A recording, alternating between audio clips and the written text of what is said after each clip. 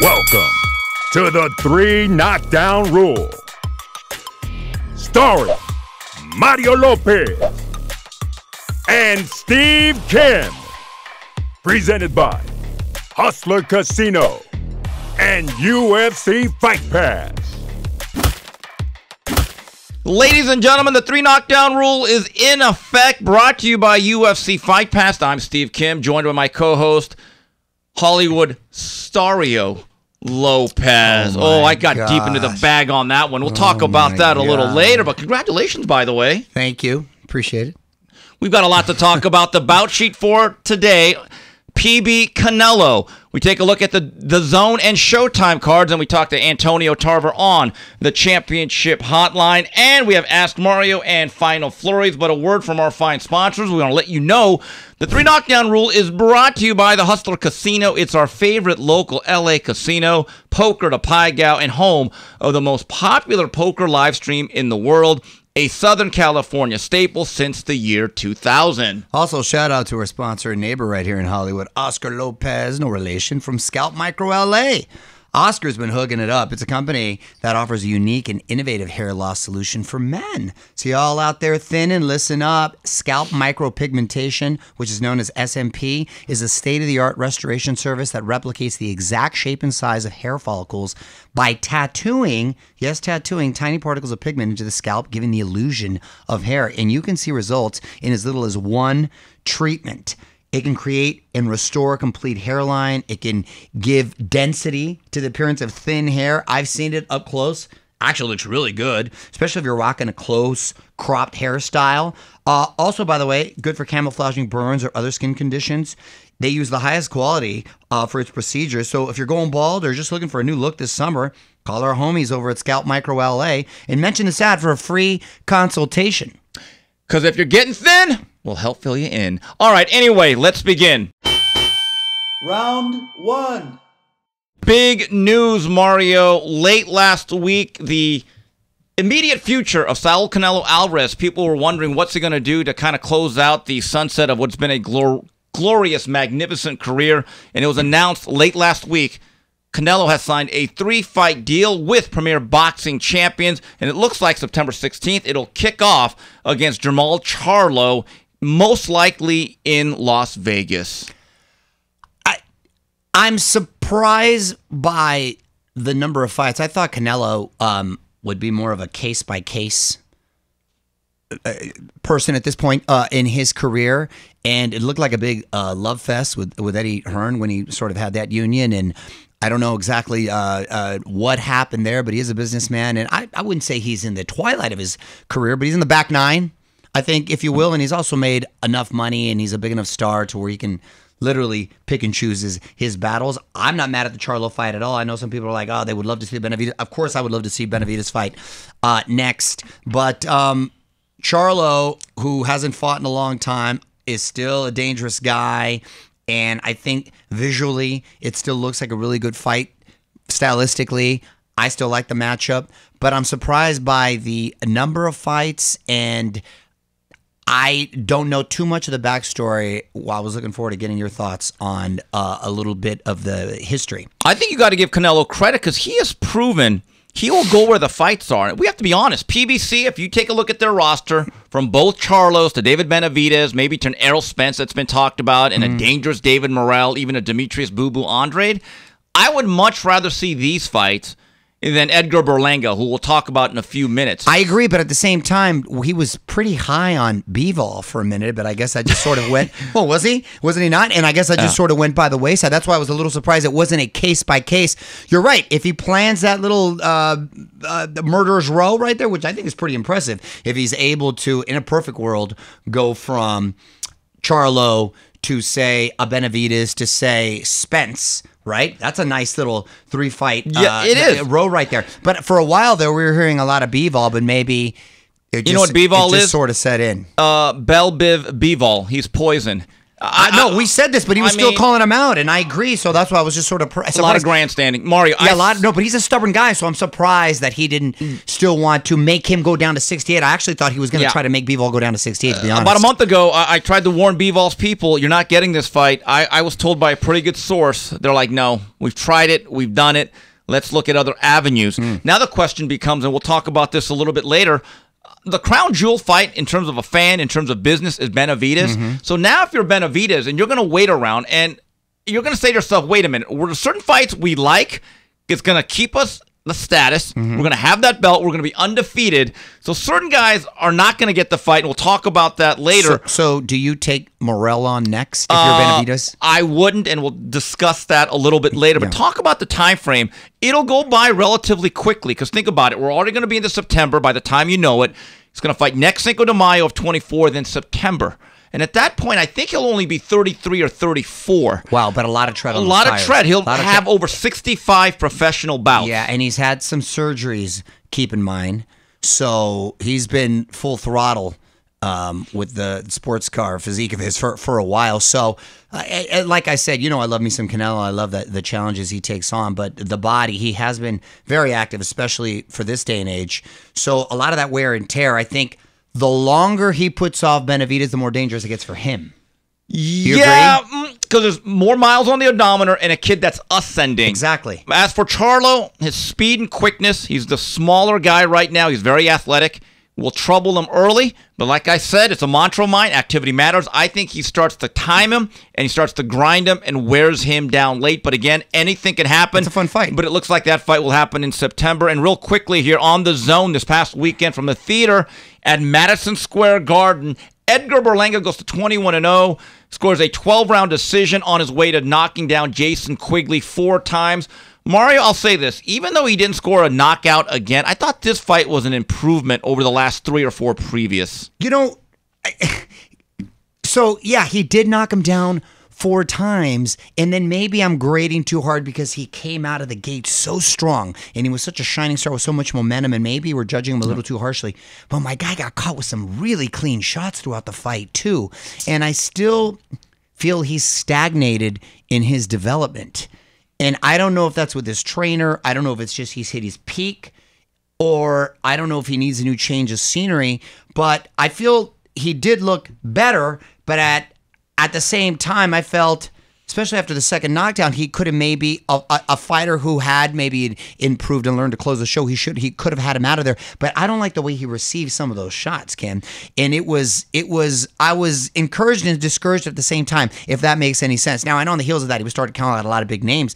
And then I thought to myself I don't know if I favor him at all with those any of those big names that he's uh, wanting to, to to call out. And then how much was made with him siding with Eddie Hearn and then Canelo because they're promising him the fight allegedly with Canelo um, or teasing him with that, and then Canelo uh, uh, crossing the the street. But again, it goes back to what I said this last week. More than ever, I want to see the fight with him and Jaime Munguia now. Yeah, I don't know what's going on with Eddie Hearn and Oscar De La Hoya. That's an- I- I'm going to call them the butchers because they got beef. Uh, as far as I'm concerned, you do Munguia Berlanga. Co-feature should be Hearn against De La Hoya. Put that, know- on pay-per-view. Well, yeah, but the, the irony is because of that beef, they may not want to work with each other to get this fight oh made, Oh which God. which sucks. But I think both guys need a legitimate test or Yep. something that sells. One thing about Berlanga, at least in this fight, because I, what I noticed in his last couple of fights with Top Rank, if he didn't get the early knockouts and he ran out of ideas, he would just lay back. Mm-hmm. At least in this fight, he was still trying to get his way and work his way towards a knockout, and he scored two knockdowns in the 12th round. But he does need to humble himself a little bit. But Mario, you're right. That 16 fight first round knockout streak was the best and worst thing that ever happened to him. Great thing is he was in a lot of highlights. He was getting people excited. Problem is, no seasoning whatsoever. And you could see the holes in his game, and you can only get that through live action. yeah, and also I. I, I guess he, he may have improved, but I still feel he gets a little frustrated if he's not able to at least hurt you early and feel like he's gotten in your head. I, I, there's still layers that he needs uh, to work on to his game and adjustments that need to be made. And I think through activity, maybe that'll come. But I would pump the brakes on some of the names that he's been uh, dropping. It looks like he got back, got back on the right track. but I don't know if he's ready for all those big dogs yet. All right, gun to head. If they fought in four to five months, Munguia Berlanga, who do you favor? I really like that fight, and I think. Listen, the thing about Munguia is that he loves himself a firefight too. And Berlanga is dangerous and can crack and he early. can bang though. He's Yeah. never faced a guy quite like this. Exactly. That's what I'm saying. But Munguia has shown good whiskers too. Again, he hasn't faced guys like that, but he has shown good whiskers. Berlanga does get cracked too, so it's really injury. Gun to head, I'm leaning towards Munguia because I think he's got a little more tools in his in his uh, uh, skill set there. But you know, it's an exciting fight that I would not be surprised if Berlanga is able to catch him. All what right. about you? Uh, I would say Munguia is a little bit more of the seasoned, hardened guy, and I know a little bit more about his chin. But there's a reason why you fight the fights. All right, we come back on the three knockdown rule. A word from our sponsors, and we go to the Magic Man, Antonio Tarver. Catch it streaming live right on YouTube. Welcome to the big leagues, kid. $1.2 million.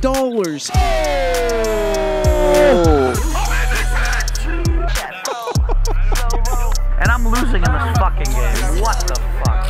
There's a 400k flip. If I win by way, you get 10 grand. For my fans. What? I read it twice. Wow. All in in a call. I'm not fucking leaving. Raise it up. All right, joining us right now on the championship hotline on the three knockdown rule presented by UFC Fight Pass. Mario, one of the most colorful, one of the most engaging and intelligent boxing guys, and a former world champion. Oh, always known for being outspoken. The Magic Man, My- Antonio Tarver. The Magic Man, Antonio. What's going on, Good. brother? Been a minute. So good to see you. Nice to see you too, my guy. Appreciate it.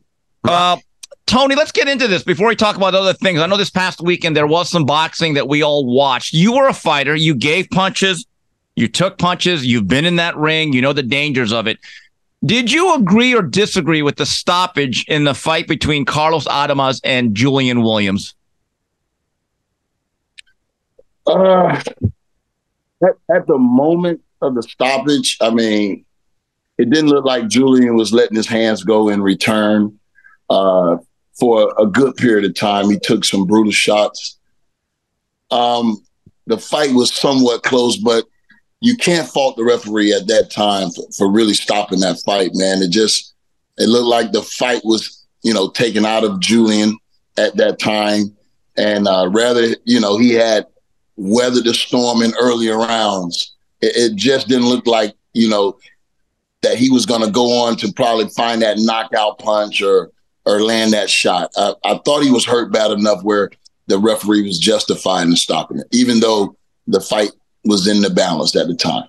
I, I agree with you because that was a t- and then in retrospect, it's always easy to sort of kind of maybe second guess. Well, he did answer, but no, I thought the the uh, uh, the amount of punishment he was taking and it was sort of almost a reactionary punches that he was throwing. Not that they had any sort of bad intentions or might have done damage to to swing the fight. So, so I agree with you that I thought the. Um, uh, the ref was not was not at fault there. By the way, I want to point out, aside from the accolades that um, Antonio Tarver uh, achieved as a professional too, not many fighters are able to transition and to articulate and be great in the broadcasting booth. And you, my friend, are one of them. You've done a great job, and you've been able to to to really um, see to to to uh, explain what you're saying and to give some insider's point of view. So it, it's always a pleasure to kind of get your take on that because for some reason that's difficult for a lot of guys. Thank you. Appreciate it. And speaking of that, Antonio, you were right there on the front lines. I mean, literally on the front lines, reporting on Mayweather Gotti, that situation a couple of weeks ago at the FLA Live Arena in Sunrise, Florida. And this is what I love. All the footage that took place in the aftermath, it went viral. And I didn't realize it was Tarver. It was- it was when Tarver. I go, oh, damn it. I said, you doing play by play I mean- and shooting one man crew right there. I there. mean, Antonio, did you feel like Wolf Blitzer or Walter Cronkite on the front lines? I mean, what was that whole situation like? Well, wait, and what started it, Yeah. Antonio? Like, what happened?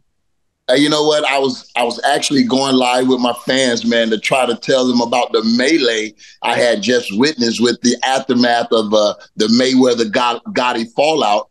And lo and behold, I go in the back and I'm still live, and here's a, a, a free fall, man. It was crazy, but um, I just didn't want to. Definitely didn't want to put my hands on no one. I don't condone women fighting outside of the boxing ring at all. You know, you can really take out your differences and then you know, no one has to go to jail. No one has to get no charges filed. So if you really have that type of beef out there, there's enough, you know, uh, celebrity boxing going on where, you know, there's a platform for that now. You feel me? So, uh, and from what I saw, that would have been a hell of a fight. You feel me? Especially in the ring. Yo, that one girl was like, Jocelyn Hernandez. yo, Yo. she was ready. To, man, I, I she, she was wrecking house right there. But what was the the genesis no, no. of They that? were on a. Uh, I was told that they were on a reality show a while Oh, back. so they had and it carried over. and it just kept. Okay, got it. That's I was like, So, damn, that's yeah. a lot of animosity for just one night. Yeah. Yeah, I didn't want people to think that that was just some isolated incident that you know we frequently have at boxing events. That's Yeah. that's not. They had they had some personal beef. It was some things that carried over. I had uh, later found out that Big Lex, the young lady that was uh, in the fight with Hernandez, she had been sending out you know shots talking about it's on site. I, I got a security for your security, and Oh so damn. there were threats. There were some threats made. Oh, so there was a lot. There was a big backstory. Yeah, Okay, well- we're not aware of. Well, look, I, I okay. talked to some people that worked that event, and it- it's interesting because Beto Duran and there was another lady that worked it. I forgot her name. Um, and they just got out of there. They were told by the producers when that thing broke out. Got, but obviously, uh, Antonio has the pass. He could stick around, kind of report live on the scene. Uh, Antonio, I was told that one of the issues was on that night there were a lot of credentials, but not a lot of security. That is always a recipe for disaster. Mm. Throughout the night, could you see that something was brewing? I didn't. Only thing was it, I that I thought was kind of different. There was so many people in Mayweather's in the camp, like in the in the in the dressing room area. It was just, you know, like a big pre-party. You know, not that it was anything wrong with that, but all those people walked the champ to the ring. Everyone wanted to be a part of this big exhibition. But when all those people walked him in the ring and up to the ring, where were those people going to sit? So the fight didn't get started to about 15 to 20 minutes after they got in the ring, but still everyone just gathered around ringside. There was really, I don't know how security could have even handled that many people, but I think looking back, if it was in a, if it was carried or if it was looked at as a real fight, the commission wouldn't have had nobody back in Floyd's dressing room. Dressing room. It's only four people allowed in the dressing room. Yeah. When you're going by the rules and you're going by the book, but when it's an exhibition fight, Oh, okay, all the mm. rules and regulation goes out. Yeah. So Yeah. I think they're going to have to start, especially when it's a Mayweather exhibition. That's not like any other fight. That's not that could even compete with some of the biggest fights, even now. You feel me? Because he just draw that much attention, especially when when he's in cities like Miami. So it was a lot. It was star studded. The promotion was grand, and and I think when you look at the brands, the Gotti brand and the Mayweather brand, two of the biggest brands out there, it was tension. It was tension even from the weigh-in, bruh. And I don't know where that came from, but it was a lot of tension, so thick you could cut it with a knife. I didn't know that was going to happen, but and I was surprised Gotti didn't start fighting until the fight was called off. I mean, you had six rounds to do what you wanted to do, I express yourself. You know, now that the fight is waved off, now you want to start fighting. I You was do your best combination of the fight after it was ra- waved off, man. That was funny to me. I was gonna mention that. I'm like, is it just me or did this fool just start fighting like once the fight was called? I it blows me away that guys like him or other guys in like this. I heard one of the Paul brothers talking about he can take Tyson now. Like, these guys have no like, like you really. I don't know if they're they're just delusional or if they really think they can handle these pro- professional fighters or former professional fighters. It just it just blows me away. Well- it, it blows me away. But uh, speaking of uh, of of Mayweather, you uh, of course have known him for a long time because you were on the Olympic team with him and Fernando Vargas back in in '96. Man, how things have changed for Yeah. y'all so, since then. But what do you remember about that time with those guys? You know what? Um, I remember that all these guys, we we all felt that we were going to go on and do something great in the game of boxing. You feel me? I think that the team that we gathered in 96 was a special team. I think that uh, when you look at the energy we brought and, and how we went on as pros to have some of the biggest careers and some of the biggest nights, uh, I, I am not surprised, you know, that that team was as successful as we were. You know, we had a lot of great dynamics surrounding that team, and uh, when you when you can produce, you know, guys like Floyd Mayweather, Fernando Vargas, Eric Morel, uh, uh, David uh, Reid, and, and just to name a few, myself. I mean, hey, what can you say? I think arguably you have to, you know, say that we're one of the best Olympic teams that ever assembled. Uh, when you look at how many championships we won as a, as a team, uh, I think we did. We arguably you can put us up there with with the best. Antonio, uh, obviously Floyd went on to become an all-time great. Was there a particular moment in the gym or at a tournament where you said, "Man, that guy's special. Like he's different"? I mean, uh, you knew that um, even when we first met in the uh, PAL championships, where we both won, and Floyd was named the uh, most most outstanding boxer. Uh, that was, I think, in '94. Could have been '94.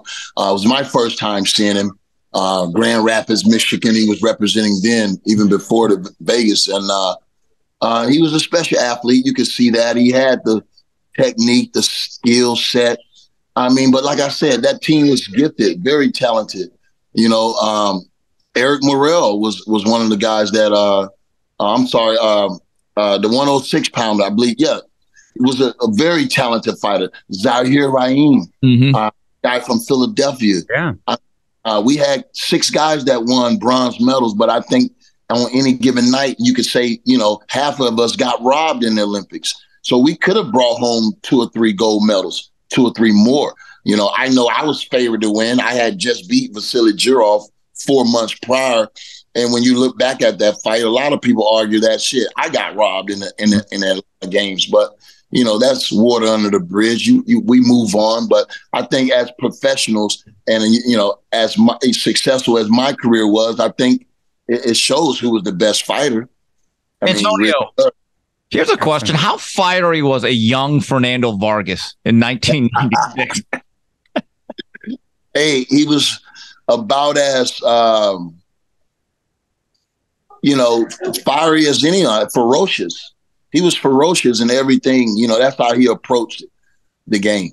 You know, he really felt that, you know, if it came down to heart, wasn't nobody beating him. You feel me? He felt like he had enough of that type of uh, gall that if it came down to a heart check, he was gonna make that other guy fold. You know, and he he approached it like that, entertaining. You know, all his fights, even when in defeat, he was very entertaining. I don't think he ever had a a boring fight. So uh, Fernando's one of those guys, and he he got it young. I mean, when you look at some of the young guys, I think shit, he was a champion at 22, 21 years old. The youngest, I, youngest junior middleweight champion middleweight. ever at age 20 or 21, I believe. Yeah, he was. Yeah cut two. Now he's got three of his sons and one very, very talented son uh, in Emiliano that's doing really well, but all three of them there. So it's nice to see him as a family man too. I want to uh, just pick your, your brain on one particular fight, big one, that of course that's coming up around the corner, Antonio. Your thoughts on Spence Crawford? You know what? I, I, I'm a Crawford fan. I like Crawford for you know all the things that he can do in the ring. Mm-hmm. But I can tell you, man, uh, the Spence that showed up for the pressure, was refreshing and was surprising. He really came out of the shell. And I like, man, that how candid he was, even in it with his sound bites, you know, his one liners and the things that he was saying. You can see that he's a very engaging champion. And I think that we wish that a more this would have been on the surface. But hey, this type of fight, a super fight with one of the best pound for pound fighters in the world, it brings that beast to the surface, man. And if you don't know that what we're in for is is for a very, I think, historical night in boxing, with everything being on the line. And when you see both of these guys' energy, I don't think any one of these fighters are going to back down. And I can think I can see this fight starting hot early and mm-hmm. ending early in one of those fashions that we saw Hagler and Hearns. And we don't know who's going to be Hagler and we don't know who's going to be Hearns. But I can guarantee you we're going to have that type of explosion on, uh, you know, July 29th, man. Mm-hmm. Yeah, you know, uh, this man right here, Antonio Tarver, is no stranger to big fights. Mario, I want to go back a little bit as I preface this question. I'll never forget the night Roy Jones beats John Ruiz to make history to become the heavyweight champion of the world. And everyone is out there on the throne kissing the ring. And I'm at the press conference and we're all milling around. People are asking questions. All of a sudden, to my left, I see Antonio saying, excuse me, give me the mic. I'm like, oh, Tony wants to ask a question. And here I'm thinking he's going to congratulate him. And he flat out basically, hey, Roy, Roy, you've been running from me. I'm sick of this. When are you going to give me my shot? You've been ducking. To, he did the Clubber Lang at the at the statue ceremony for. I was like, wow. And I remember Roy was kind of insulted. Do you get that fight if you don't do that that night? I don't think so. Not at all. Uh, I think that night, um, even though I think people knew me, I think they had to really recognize me that night because I wasn't lying. And the truth the truth ain't hating. You feel me? That's what the young kids say today, you know? So I stood up on mine, you know what I mean? And I wanted my shot. I felt like I had proven that I was one of the best at the time in the world. Uh, when you look at my amateur pedigree, I, I, don't know how they didn't see me coming, but um, that's neither here nor there. I wanted my time. I got tired of waiting. And after I knocked out Eric Harding in the rematch, I had, you know, I became, you know, a full fighter with experience. I had gone through my trials and tribulation. I had overcame defeat. And I felt like at that time, there was no light heavyweight in the world that, that could beat me. And uh, I think when it was my time to prove that, I think I did. And, you know, whatever the circumstances or however you want to say it, I mean, we had a fight. He had just amount the same amount of time to get ready as I did. Uh, I think I showed in the first fight that I was more than capable um, but after I felt like I was robbed, there was nothing else for me to do but take it out of the judge's hand. And Steve, you are my witness. You know, I told everyone that would listen what what what I was planning on doing in the second fight. So you know, you know, people can say it was a fluke or whatever. I trusted that I did the work and I believed in myself, and I rolled the dice by saying, you know, what's your excuse tonight, Roy? And I felt at that time, man, I was gonna go out on my shield, and you know, I think I prepared for what happened. Um, you know, one shot, perfect time, counter shot, you know, and I knocked out one of the greatest fighters of all time. And uh, I don't, I don't care where you, you know, where he. It was before and after me that things changed, you know. And I ain't saying nothing, but when you fight a man at 13 years old and you fight him toe to toe and you give him one of his toughest fights in his little young amateur career, knowing that he had Roy Sr. and he was more experienced than me. Right there, bro, I knew I belonged, you know. And when I went and represented the country and was one of the most decorated amateurs of all time in the history of the sport, and when you look at how I beat every man ranked above me to hmm. get the Roy, bro, I, I don't want to hear that. I because nobody gave me nothing, bro. You feel me? I, I was man enough to stand on 10 and I beat the man. So you know what I'm saying? And I'm gonna tell you, if I wouldn't have beat Roy, nobody wasn't beating Roy. Nobody. And I don't care what the hell going on right now today. And if people think that, they lying to themselves. If I wouldn't have beat Roy Jones, nobody in the world would have beat Roy Jones like that. I was the only man could do it. And I knew that when I was 13 years old. And I trusted the process. I worked my ass off. Nobody gave me nothing. I, you know what I mean? And still today, you know, sometimes I think that was, you know, that because people really never really said, gave me my credit. They made excuse for everything. But when you get out of the game, 23 years, you fight all the killers and you look like this. That's success, bro. Could nobody put could nobody put no gloves on me, and they know that. Man, let me tell you something. I, I knew you obviously had the skill set, mad respect, but ironically, we were talking about trying to get that fight. It was your personality and your gumption that you said got the fight. But it was one of those fights to go back, uh, Antonio, where like I'll never forget. You know what I'm saying? It's one of those yeah. fights like I remember where I was. I remember there was something on Twitter that was trending a little while ago. Um, knockouts that you'll never forget, or Right. Something like that. And that was one of the first knockouts that came to mind. I remember. So wasn't Jay Nady the referee? Yeah. Shit, I remember the second fight. Yeah, I remember that. And when and then I remember when he said when you said you got any questions and you said oh you got an excuse then he goes not questions like Yeah, that. big- Or come said, on, come on, and he goes, not any questions like that. And then you proceeded to do that. I go oh damn that dude is. I said it was just so. And wait, hold on. It was just so impressive, and I was like, wow. You you hardly ever see a guy be able to Call a shot. call his shot in boxing, talk the talk, and then walk the walk and deliver. And against the level of opponent of caliber like Roy Jones, whoa, that was so you'll always get tip of the hat, mad respect for Mario. me, man. But it was one of those like you never forget it. If you Being see it, there- you know what I'm saying? Roy's body seemed to go in slow motion. Like it was surreal to actually see that. And then, and this guy starts doing a victory lap around the ring because he knew he was out What round was that again? second. like, yeah. the second round. Now, I, I remember that- that's why tripped me out because I remember it was early. I was like, wait, what? Antonio, could you see that shot in slow motion? Like, take us through that sequence.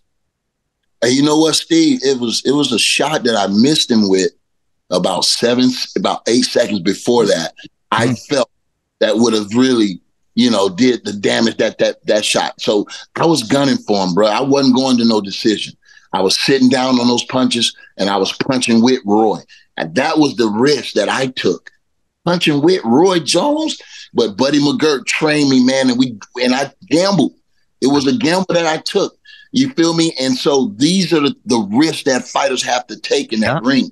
You can't have no fear, bro. And and so when I prepared and I trusted, I mean, hey, Buddy lit that fire though. Buddy, You know told where, buddy? Antonio, buddy, I, buddy, I asked about I that. love me somebody. Buddy Buddy actually cool. said Eddie Futch gave him some advice. He said, before you go into this fight, I want you to know one thing. There's never been a fighter in the history of boxing that can block and throw punches at the same time. So you're going to have to put Roy on the defensive. So, Antonio, I always got the sense you were crazy enough to actually think you could beat Roy Jones because guys were defeated before they ever got into it with him. Yeah. They were in awe. So you're telling me that your fight at age 13, you had it in your mind, you know what? I can handle this.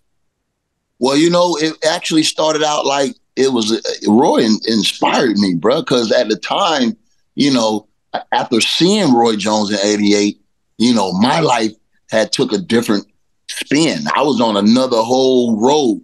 You feel me? So witnessing that at that moment, the light bulb went off for me. I knew exactly my purpose for everything that I was trying to do, and I knew it was in that ring. And I knew I'm like, man, because I'll never forget how competitive that fight was. And I said, if, if this man can be right here in Seoul Korea, I know what my purpose in life was to box and be the best champion I could be. Never knowing that that same guy would one day meet, we would one day meet again. I never knew that. I couldn't see that far ahead. But when I became the number one guy in the Olympics in the country and then internationally, the number one light heavyweight in the world, beating the Cubans, the Germans, the Russians, all of them. You feel me? I knew then that I was going to be light heavyweight. Roy Jones was campaigning at light heavyweight. So in my mind, already I was preparing to conquer whoever was in my way. It just happened to be Roy Jones to make that story much better. But it could have been Sugar Ray Leonard. I was going to approach it the same way. Yeah, gotcha. feel I, lo- I love it. Love it. I man. was coming through no matter what, bro, because that was my goal and dream, and that was my promise to the from from God. So, and when you have that type of talent and skill, and that type of knowledge of the game, and you got to understand, I was blessed with some of the best trainers and coaches since I was ten years old in the game. See, I I had the experience already. right. You know I wasn't stuff mean? you, you hadn't seen before. There- There's, there, they weren't throwing you looks. You've seen it all at that point. No, you know what? I was an exceptional fighter at 10, 11, 12, 13 years old. I was one of the best. You understand me? I wasn't just no, I was a standout even at that young age. So when I got out of boxing, you feel me? All of this could have happened earlier. But when I got out of boxing, that's why I say God don't make no mistakes. I had to go through what I had to go through in order to prepare myself for mm-hmm. what it was that I was coming to, you know, face in boxing with all of everything I had to face. You know, the politics, Yeah, you know, having to deal with a lot of things, bruh. And it, it was just me. It wasn't like I had no big team behind me. It was just me. So, and when you look at what I was able to accomplish, that in itself speaks volumes because we know you damn near have to be connected to get anywhere in boxing. Right. You almost have to be connected. Well, I never had those connections. I just had these two fists.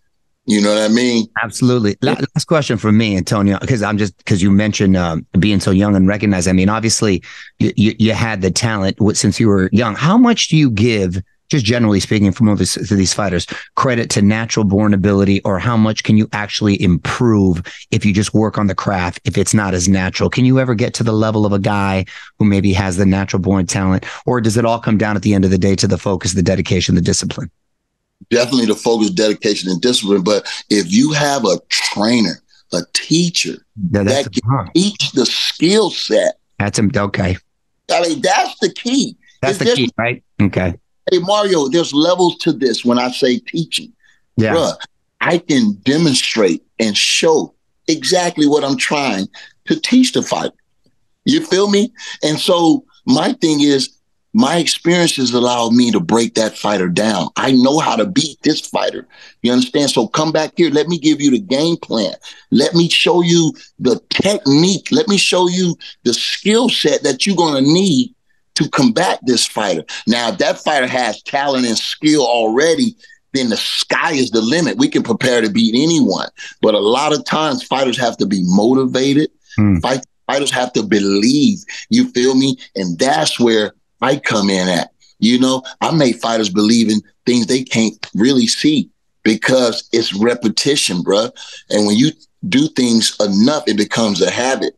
You know what I mean? But this thought process has never changed, bruh. It's like, so it's an ongoing thing. Every day I wake up trying to be a better me. You understand? Even though I may not be, I might not be training every day, still I'm trying to do something better than I did the day before. Well, Antonio, let's get into this. We had a conversation late last week as we're setting up this interview. One of the things that has disappointed him is that with his vast wealth of knowledge and his experience, and he wants to be in the gym, Antonio, it has disappointed you that more young fighters have not reached out to you because you do want to start being more or less a world class trainer. How do you begin that process then?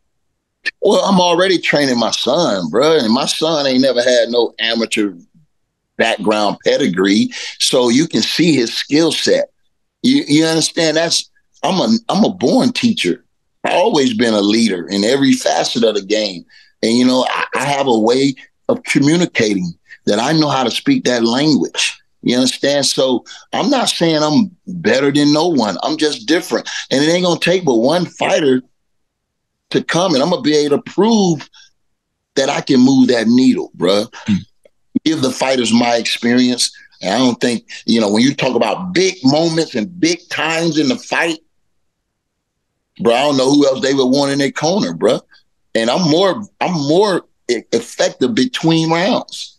You got me Because- fired up right now. hey, I just, hey, Mario, I'm gonna tell you, I can see this shit before it happened for real, for real. Just Yeah. with my, just with my anticipation, with my instincts. Of course. I can call a fight and I can I can pretty much tell you by the what I'm looking at. I can see what's about to happen. That's just my gift and my my vision. But yeah, these young fighters should. It don't take but two weeks. I can show them the difference. It ain't gonna take but two weeks. So You there what I it is. So any young, hopeful prospects out there, they're in need of a teacher, not just a trainer. To- hey, hey, we need to talk to the managers and them promoters that want to see they fight fighter win. They got to get them lessons, man. And Yeah. just, just just try me, bro. Where's And home at these days, Antonio? You need a you need a trainer and a teacher that's been consistent. I've been Yes. consistent in the game of boxing. I got C's in the sport. I ain't going nowhere. You feel me? I'm here to stay. So yeah, this ain't no fly by night, and I'm not in this for no money, bruh. I love the sport. No, I I, you, love sport. you can see the passion. I was just curious. What, what, where's home at these days? I'm in Tampa, man. Tampa, Florida. Yep. All right. No, all but, right. they're, but they have a nice airport. Uh-huh. Yes. Fly. Hey, Tampa's anyway, a fun town. Antonio, always a pleasure to talk to you. Let's do this again soon. We really appreciate your time. hey, nice talking to you, my guy. You know where we all started from, bruh. All right. Game in the game, Steve. All right. Hey, Antonio, I'm gonna be in Tampa in September, I'm gonna hit you up. We're gonna Hit work up. out. All right, we're gonna make that. You got me fired up. I'm gonna work out. Hey, I will thank give you, him, I will give him the digits. All right, thanks a lot. All right, and we'll be back. More three knockdown rule after these messages.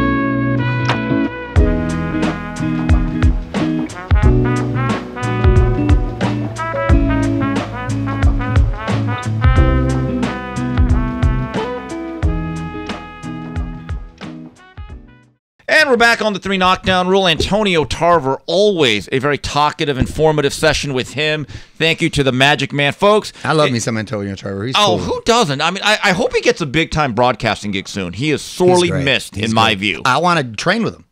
You'll do it. You will have his number. All right, folks, we just want to remind you if you'd like to get involved with the three knockdown rule and sponsor our fine program, we still have some slots available. Please reach out to us by emailing info at boxbid.io. Once again, that's info at boxbid.io. Boxbid.io is an online platform that is launching soon. It helps public figures and professionals in the world of boxing get sponsorships. We are proudly working with Boxbid.io. Review preview. on to the fight review, fight preview. Um, interesting weekend here in Japan for Joshua Franco, a young man I covered his whole career. Not only did he come in six pounds overweight for his title fight, he then announced his retirement after losing to Kazuto Ioka. And for the WBA 115 pound title, I don't know if it's a hiatus or not. Young fighters are now seemingly having issues. Good luck to Mr. Franco uh, in the next phase of his life, if it indeed is the end. Moving on to the fight preview Toledo, Ohio on ESPN.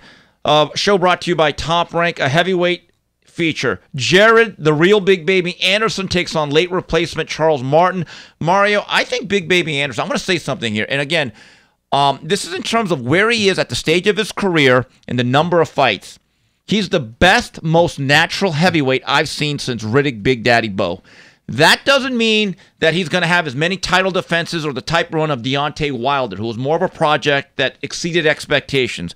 But Mario, when I look at Anderson, I see a big guy who just happens to be a big athlete, but was first and foremost a boxer. Power in both hands, the ability to switch shit, boxing acumen, upper body movement. I could be wrong. I could be eating my words. I think he has it. I really like what I see too. And coming off of what Antonio Tarver just said too, does he have the focus, the dedication, and the discipline? And if he does, considering the landscape in the heavyweight division right now, some of these guys are getting a little long in the tooth. He's it's the time could be his if he navigates these waters. Mario, I remember asking him three years ago. I got to talk to him a lot during the bubble era of boxing. And so I interviewed him a few times and I asked him, you know, you're a big guy from Toledo, Ohio, and this is a hometown thing. But I asked him, what other sports did you play? And I'm thinking basketball, football. I said, Steve, I've only boxed. I said, wait a minute, you've never played any, it was nothing love it. organized. So that's the difference. Unlike a lot of our other heavyweights of the past generation, they don't grow three inches to become a power forward. Football, they get injured. No, no, he was a boxer first and foremost. And I think that is a huge advantage. It really shows too when you're in the trenches and in certain competitive fights, and when you start to step it up with caliber fighter.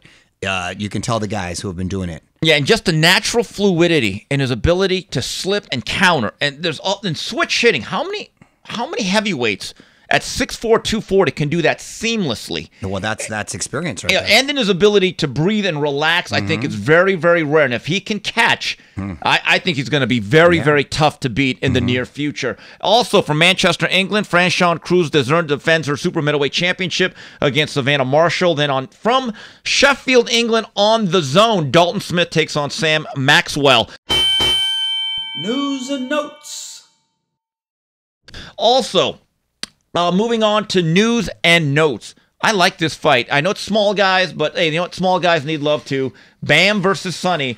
Jesse Bam Rodriguez takes on Sunny Edwards in a WBO slash IBF flyweight title fight. Date and venue to soon be announced. Nice fight there. TBD. uh, put together by uh, by Eddie Hearn. Mario, you know one fight that you talked about that I don't think is going to happen, even though late last week, Sampson Lewkowicz, the promoter of Benavidez, oh yeah, told Dan Raphael, yeah, we're going to fight Morrell. We're going to fight Morrell. But then a day later, David Benavidez said, well, I, I don't know anything about this. And then hell hath no fury like David Morrell scoring. This is what he uh, put in a press release. I, I didn't know he knew this much English or was this talkative. He said, David Benavidez is a big bitch. Uh oh. His dad is a big fraud, always talking like he's some tough guy, but he's a small man with little man complex. His brother wants to be a gangster who talks a lot of shh, but gets knocked out by Crawford uh, and did a horrible job in the movie Creed. Wow, a movie uh, Wow. review, too. Taking a Uh, personal The. Benavidezes uh, are a bunch of cowards. Uh, this is a guy you call a Mexican monster. He's a fraud. This is the guy everyone is building up. I see a fat, insecure boy. That's what I see. Benavidez couldn't walk down any street in Cuba without getting his shoes taken. Funny, he calls Canelo, Canelo a duck. Who's the duck now? It, it's ironic how we were talking about Tarver having that um, Mr. T Clubber Lang moment in Rocky. well, that was prior to social media. Now they're kind of having these moments, or somebody's writing them for him um, on social media. Will it get him to fight? Well, obviously not the next one. Maybe down the line. I, I is it Benavidez uh, may not want to risk. We were talking earlier about may want to not risk with such a dangerous opponent with Canelo looming in the future because Morrell is a dangerous opponent. Mario, if you were David Benavidez, would you face someone that's 9 to 0? Be honest, honestly, because when I saw Morrell, Well, it depends. Is it the Beterbiev sort of nine and zero? When I see a Yes, Beterbiev, uh, you know what I mean? mm, That's what I'm saying. It me- depends on what. let me just say this: when you were there in Vegas, and I don't know if you were there in the venue because it looked pretty empty when Morrell blew out Falcao. No, I saw it. I just said No, he's dangerous. because what happened was after he beat Caleb Plant, Benavidez, his people are saying, "Oh yeah, we're going to take on Morrell. I'm thinking that's the very definition of risk versus reward, and I'm thinking to myself, "Are you sure that's really what we're going to do at nine and 0, And I have to tell you, he's a Cuban. He ain't a Rigondeaux Cuban. he's no. big. He's got heavy he's solid. hands. He's strong. He's aggressive. He's kind of everything. He he's not someone you want to face when you've got the biggest payday possibly looming, which I think will be inevitable. I'd like to think that it will be inevitable. So I'm not trying to have any part of Morrell up until then. Yeah, by the way, I'm told that David Morrell, despite all those words, has great respect for Benavidez and his family.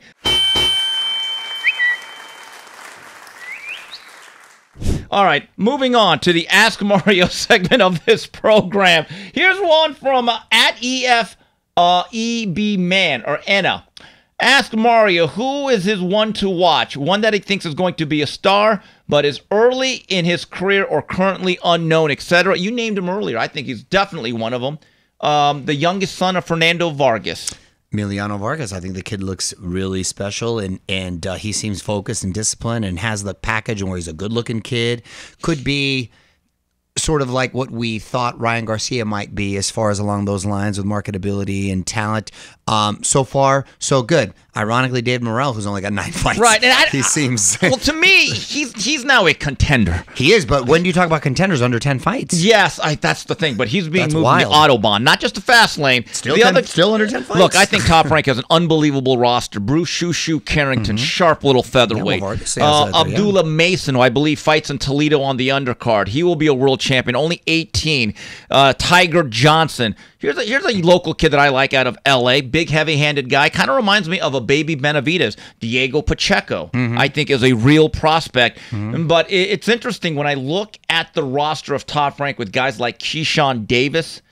I just say, wow, there's a lot of talent there. Yeah, In fact, Jared. Anderson used to be, but he's graduated. I think he's a top 10 heavyweight now, even at this stage. Here's a question from Four Corners Boxing.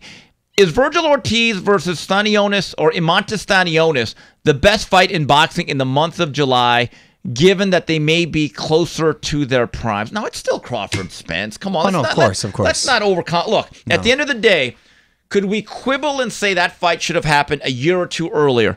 Maybe. But the last I checked, Both guys are in the top four in the Ring Magazine pound for pound, are number one and two in the division, are undefeated. There's not a fight you can make realistically within a division that has that type of accolades. Ortiz Stanionis is an excellent fight, but I don't see it uh, really having the stakes or the historical value of that fight. Here's one from your favorite guy, the Fanny Merchant, the only Sanch. Ask that Sandra Bullock facial routine user Mario Lopez. Did he ever think Jaime Munguia would be the second cash cow of 168 the way Berlanga and Benavidez are calling him out? It's interesting. Oscar actually said, I've spoken to Munguia. He wants Benavidez. Are you sure? Are we really sure he wants Benavidez? I, I, I'm yeah, I'm surprised only because I, I, I would take. I don't. I think he would like Benavidez. I don't know if he'd want him next. I would rather take the Berlanga fight, possibly build it up, and then maybe fight Benavidez after that, or even possibly a Charlo brother if that were to surface. But I, I don't think he'd be opposed to fighting him. I don't know about next though. I don't either. I don't think next. I mean, if you're, if you're De La Hoya, you've kind of babysat him. You babysat him. And they're like, okay, Benavidez. I'm like, well, no, wait no, a no. minute. You wait can't. You can't jump right on the freeway when Right. you've just been driving to the parking lot. Right. You got to go around the neighborhood a couple times. Yes, let's go around the cul-de-sac. Let's go to the let's yeah, take yeah. the local supermarket. Right, You're right. not going on the autobahn. I just it's, it doesn't have to be all or nothing no, no. here. Right, right, right. Not that. Uh, not that big of a jump. And look, the the Berlanga fight, there's danger because that guy can bang for all his flaws. If he gets hit with the same shots he did against Derevyanchenko, Mm, that's bad news. There's a chance he doesn't survive like he did with round five. Agreed. So let's be honest about it. Final flurries. Final flurries, Mario. Within a couple of months, people will be able to step on you in Hollywood. Well, actually, it'll be a little bit longer. Thank you. I assume you were talking about the the, The Walk of announcement of the Getting a star on the Walk of Fame. Yeah, that's kind of cool. It hasn't really hit in. I mean, hit hit me yet. But um, I'm gonna be class of 2024. Uh, I'll be 50 when that happens, and the Hollywood sign will be turning 100 years old. So we're roughly about the same age, Hollywood sign and I. And uh, yeah, man, that's gonna be there forever. So my kids, my grandkids will all get to see it. And uh, 40 years in this business, believe it or not. So that's uh, I'm kind of at a loss for words, but I appreciate thanks to the Chamber of Commerce in Hollywood, and I appreciate the honor. Mario, when they give you that honor and it's official, is it something you have to do to go there to that day? Because I usually they have press junkets, right? Don't they have like a big press thing and all the fans Yeah, show but the up? actual ceremony, yeah, they'll. I think they're going to give me a date. Um, I think they said spring uh, around uh, this next year, and then yeah, you, you're are going to be there full or what? uh, I'll have my people you- call your people. You mean, uh, Here's the you other. Ain't got any other friends? Uh, well don't don't don't one. flatter yourself. I got at least three, and they're all above you. Uh, anyway, no. right. can you choose where your star is, or it's just No, like you can't choose your star. I, I want to be next to the Mann Theater, not No, so no, close I to can't. Hollywood Boulevard. put me on Yucca Street. Well, yeah, órale. Who knows? No, hey, I'm I'm honored. I'll I'll go wherever, and you know, mom and dad are fired up, so I'm happy. You know, not bad for a Mexican kid from Chula Vista. Orale. Uh, other thing, uh, Mario, what a buzzkill. I thought we were getting Musk versus Zuckerberg. Say it ain't I so. knew Elon What Musk was trolling the whole happened, time. That was hilarious. And I was talking to Data, and he swore it was there. I was like, "Oh, come on!" I go, Elon Musk doesn't even like to work out. He says he just likes to lipo whenever he feels he's getting the job. By the way, my guy's a big dude. He's like six three and two something, and Zuckerberg's coming in maybe a buck fifty. So I don't know what the weight difference would have been right there, but I knew he was trolling the whole time. Listen, on a serious note, I do love that Zuckerberg Training. Is training, Sparring, loves jujitsu. This is a guy who could be participating in country club activities, golf, tennis. He's choosing to get choked out, beat up. It's a tough physical sport in jujitsu. It's humbling, and the fact that he is raising the awareness level and putting it out there. Tip of the hat to him, man. I I, I think it's awesome. You know who works awesome. out a lot, and I'm impressed? RFK Jr. Yo, dude, I had no idea that was going on. On the, my guy, look, forget 69. He looks incredible for 69. He looks fantastic for 29. He, I, I, I had no idea that was going on. I heard he's doing the there. Bowflex. Dude, he's doing something because he was at Venice Beach, old school Arnold. Oh, by the way, have you seen the Arnold documentary? Yes, I have. I saw it. I told you about it. Oh, I've got the one more episode to go. Well, let's talk about it next week because the one I've got the third episode to go because that's a whole nother thing. But anyway, he was down there. Forget the, the politics aside. I'm just talking about the individual. That dude looks incredible. He should be our health director. He's about Let's to be, honest. 70 years old.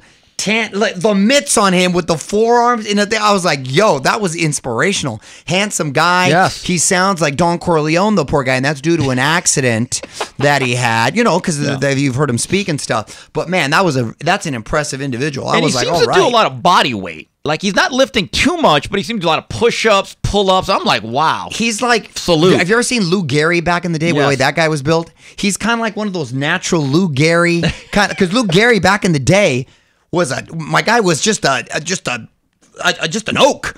Just looked and how did you you didn't see physiques like that back in uh what was that the the forties? Well, there's no doubt. I- I you didn't growing- see, so I'm thinking he seems like of that era. No, I I know what happened as a kid. He actually got those Joe Weider brochures. He must have saved up a couple bucks and done, done some stuff. he's done whatever he's doing. He's doing right. Salute. Salute to you, Yeah, RFK Jr. exactly. All right, before we wrap it up here, we just want to remind you again if you want to get involved with the three knockdown rule and sponsor our fine program, we still have slots available. Please reach out to us by emailing info at boxbid.io. Once again, that's info at boxbid.io. Boxbid.io is an online platform that is launching soon that helps public figures and professionals in the world of boxing get sponsorships. We are proudly working with boxbid.io. So, on behalf of Mario Lopez, Smoking Tim Frazier, and Tino, this is Steve Kim saying, till the next round, goodbye, everybody.